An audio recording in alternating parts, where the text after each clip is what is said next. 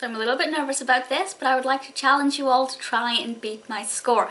I found this quiz on a website called Sporcle, which uh, requires you to name as many Tim Burton films as you possibly can within a four minute time limit. I haven't tried doing this yet, so I'm a, li a little bit scared because given the fact that I'm a die-hard Burton fan, there's a lot of pressure on me. And also this gives me a chance to check out my new screen recording software, so hopefully this works, hopefully this goes to plan.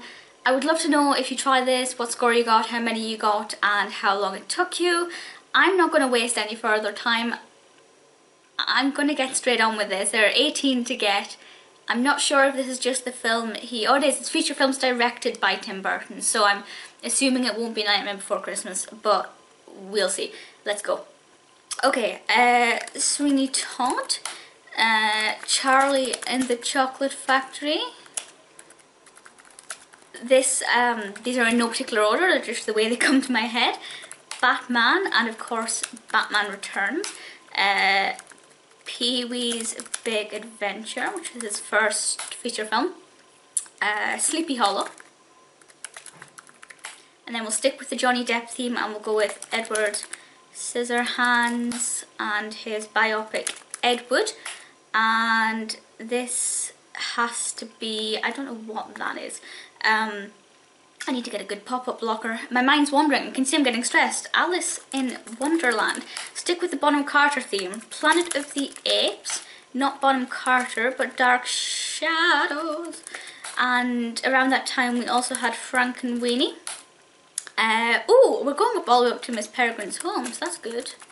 Miss Peregrine's home for peculiar children. And before that we had Frankenweenie then, oh yes, of course, Big Eyes and Big Fish.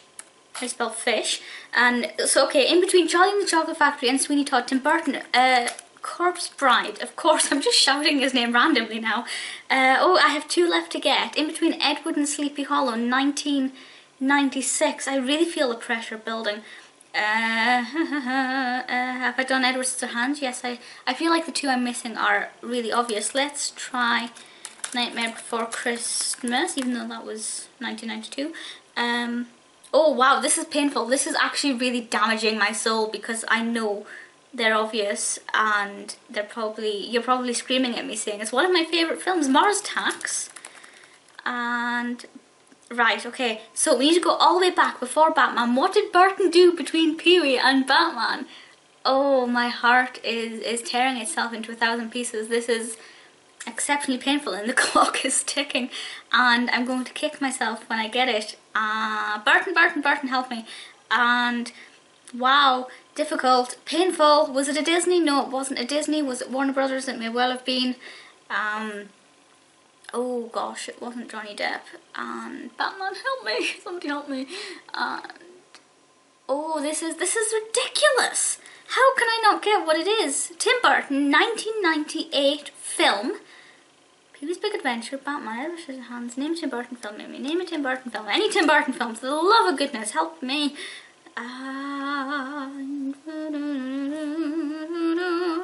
This is, I'm, I'm actually losing the plot.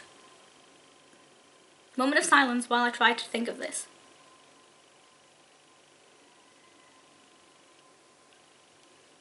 Getting a little bit stressed.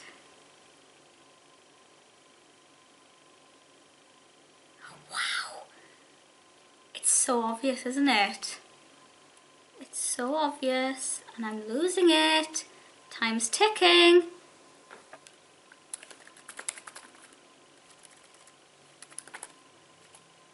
I know, I'm wearing the t-shirt. that, that is humiliating. That really, that really is humiliating. I'm wearing the t-shirt. I just thought I'd written it. I thought I'd written Beetlejuice. I am a bit ashamed. Slightly awkward, Amy.